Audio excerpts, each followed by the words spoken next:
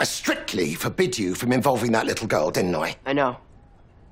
But Selina's always handled herself. I, I was sure. But you were wrong, weren't you? I mean, it's different if you choose to be involved in something like this, but you actively involved Selina Kyle. You put your own concerns in front of that girl's safety. You're bang out of order.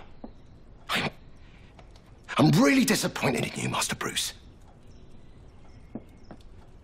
You're sure she's still there? Y- yes.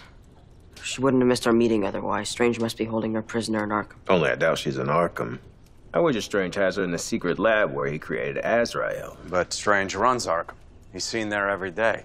The lab must be accessed through Arkham. You're thinking it's underground? It has to be. There must be stairs, an elevator, ventilation shafts. I just don't know how to find them. I may have a solution. The technology Strange is using to create these monsters must be very advanced. My guess is he's using plutonium isotopes to mutate cell structure. If so, there'll be trace radiation.